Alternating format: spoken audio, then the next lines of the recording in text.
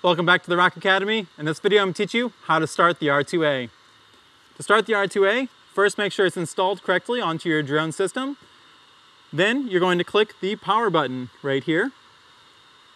You're gonna wait a few seconds for the system to boot up. It'll take two photos, one and two clicks. So let's listen for that.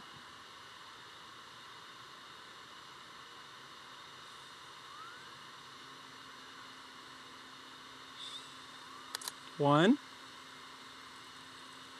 and two.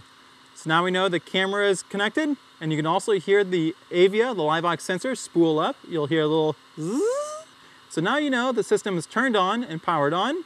Next thing you want to do is you want to pull out your cell phone and log in to the Rock Wi-Fi network that is made by the R2A. So I'm going to come over here to my phone. I'm going to connect into the Rock network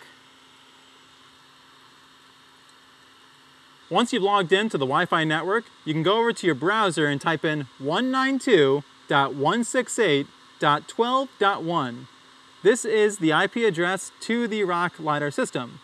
Now, you should be able to see the status menu of the ROCK system.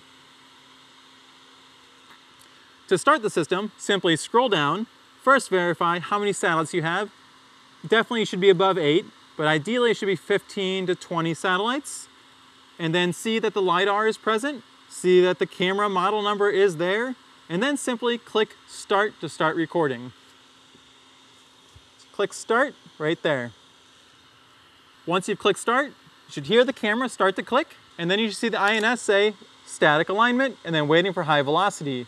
Well, that's how you start the R2A. I'll see you guys next time here on the Rock Academy.